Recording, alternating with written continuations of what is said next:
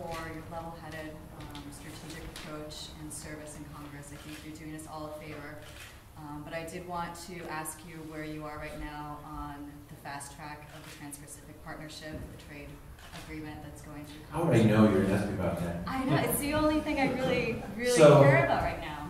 And uh, I did see the SDTT uh, article about the trade representative coming here, and that's why I'm concerned. Right, okay, so, um, I'm honestly undecided about it. I think we've had, Gretchen and I have had conversations, we've spoken with local labor and the faith community.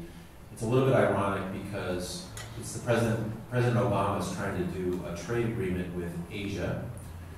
His theory, and if we should, we should hold him to this, is that if you don't do a trade agreement with Asia, you will let China set the rules. And when you're talking about protecting the environment, setting standards for workers, you don't want to do that. You want to set good enforceable rules that are higher.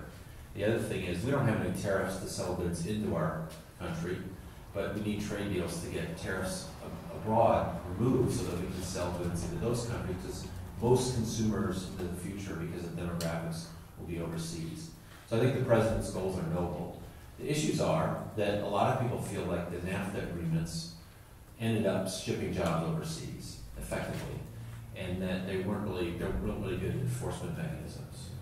So the trade consideration is two parts. One is, do we give the president uh, trade promotion authority, or TPA, or some people call it fast track, which would allow him to go close a final deal to bring to Congress for an up or down vote with no amendments. Uh, and the Congress and struggling, you know, Democrats and Republicans are struggling with, you know, what terms we would set to give up that authority. And right now, Gretchen, in the Senate, um, Senator Wyden is trying to make a really different fast track proposal that would be okay with folks, but we don't have that yet, and that, that information will be introduced, we hope, soon. Uh, and then the idea was we would vote on, on a deal.